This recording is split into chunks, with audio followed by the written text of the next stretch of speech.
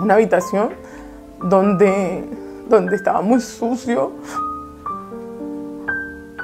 donde saqué como seis ratas y yo decía, oye, y me pagaron 15 mil pesos. Inolvidables y desagradables experiencias como esta que vivió esta migrante venezolana son a las que miles de personas se exponen con su llegada irregular a Colombia. Aquí es, es difícil, de pronto el no tener papeles, la irregularidad que tenemos aquí en, Colombia, nos, nos cuarta, nos bloquea un poco. No, él es el dueño de la casa.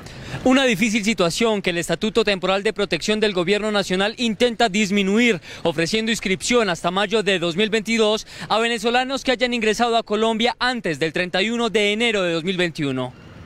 Por el progreso, por la para mí es gratificante. Yo pienso que, estamos en el, como en una cúspide, que voy a poder conseguir un empleo.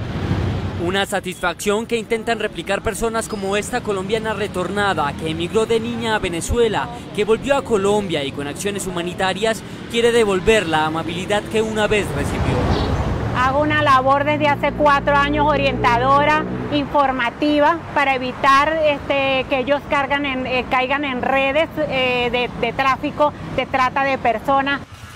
Pues Vanesita, aquí tiene galletita y café. Hoy para esta migrante su amarga experiencia al llegar a Colombia simplemente ha servido para armarse de valor y continuar.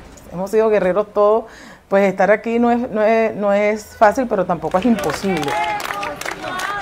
El pasado primero de septiembre empezó el registro biométrico para migrantes que ya realizaron su registro inicial. Aquellos que ingresaron después del 31 de enero sellando su pasaporte también tendrán posibilidad de inscripción hasta noviembre de 2023.